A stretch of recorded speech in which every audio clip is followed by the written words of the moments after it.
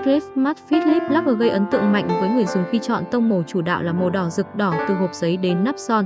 Thiết kế hộp giấy bên ngoài có màu đỏ rực tạo cảm giác mạnh mẽ, quyến rũ, cuốn người dùng khám phá thỏi son bên trong. Hãng đã tinh tế thiết kế số son cùng tên từng màu bằng màu trắng trên nắp hộp giấy giúp lựa chọn màu son dễ dàng hơn. Thân son hình trụ tròn thấp, tuy không nổi bật nhưng khá đáng yêu và dễ xếp gọn trong túi mang đi khắp nơi.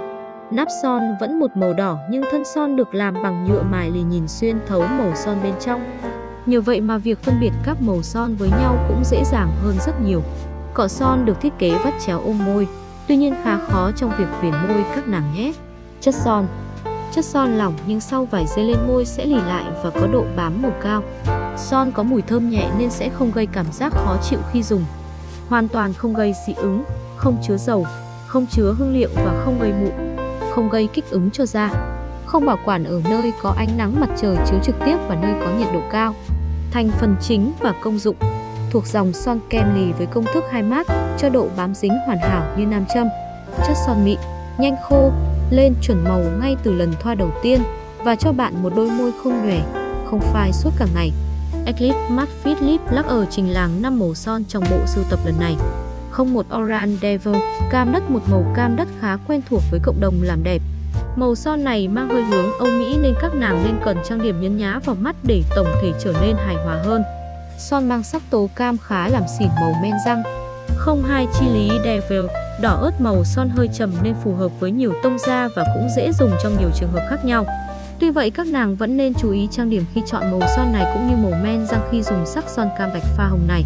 Màu son phù hợp với các nàng thích phong cách trưởng thành và thanh lịch. 03 Coran Devon San hô màu son này phù hợp cho các nàng có làn da trắng, men răng trắng và yêu thích phong cách bánh bèo Hàn Quốc. Sắc son san hô đất tạo cảm giác nhẹ nhàng, ngọt ngào nên có thể kết hợp cách trang điểm sương sương, nhẹ nhàng thì rất hợp với mùa hè này. 04 Red Devil Đỏ thuần màu Red Devil thể hiện đúng tinh thần của bộ sưu tập Eclipse Matte Fit Lip Lacquer với tông màu đỏ làm chủ đạo.